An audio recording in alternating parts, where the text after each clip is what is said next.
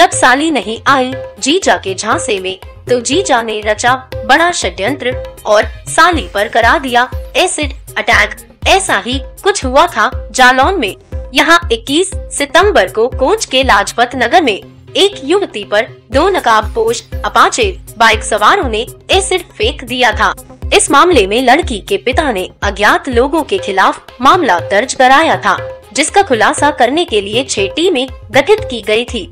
जिनको झांसी, औरैया, कानपुर, देहात, कानपुर नगर, इटावा और मध्य प्रदेश के भिंड जनपद में दबिश देने के लिए भेजा था, जिसमें 50 संदिग्धों से पूछताछ की गई थी। साथ ही सीसीटीवी फुटेज की मदद से लोगों की पहचान करने का प्रयास किया था। इस मामले में पुलिस टीम को बड़ी कामयाबी मिली है। पुलिस ने इस वारदात को अंजाम देने वाले लड़की के जीजा पंकज, उर्फ़ प्रेम, नारायण, निवासी, नारायणपुर जिला औरैया को गिरफ़्तार किया है। पुलिस अधीक्षक ने आज एसिड अटैक का खुलासा करते हुए बताया कि लड़की के जीजा ने एसिड अटैक के लिए सात लाख की सुपारी दी थी और सीसीटीवी की मदद से पंकज अपनी साली पर नज़र रखता था। साथ ही वारदात को भी उसने बैठे बैठे सीसीटीवी में लाइव देखा था।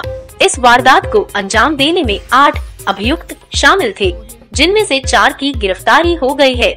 बाकी की गिरफ्तारी भी जल्द कर ली जाएगी। देखिए, ये कोच वाली जो एसिड अटैक की घटना 21 तारीख को हुई थी, उसका आज खुलासा किया जा रहा है। कुल चार लोगों को गिरफ़्तार किया गया है और चार अभी अन्य वांछित फरार हैं। उन लोगों की भी जल्द गिरफ्तारी की जाएगी। इन चार लोगों से जब पूछताछ की गई है और इसमें जो इनका मेन मास्टरमाइंड है, वो लड़की का जीजा है। उसका नाम पंकज प्रेम नारायण है और यह रहने वाला औरैया का है।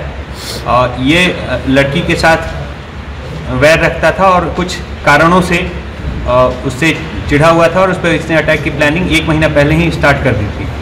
जब इसने प्लानिंग एक महीना पहले स्टार्ट की तो पहले इस एरिया का रेकी करने के लिए इसने अपने ड्राइवर संजू पाल का प्रयोग किया। उसके माध्यम से इसने अपराधियों को जुटाया और अपराधियों को जुटाने में जो इसने संपर्क किया, उसके लिए इन्होंने औरैया से स्टार्ट की मीटिंग और उसके बाद बार बार कोच में आके रेकी भी की और उसके बाद प्लानिंग करके इन लोगों ने घटना को अंजाम देने वाले ये कहा की होगी देखिए घटना के अंजाम देने वाले जो फुटेज में आपने मोटरसाइकिल पे दो व्यक्तियों को देखा है उसमें गौरव है जो आज पकड़ा गया है और एक अन्य व्यक्ति फरार है उसकी भी जल्द गिरफ्तारी की जाएगी।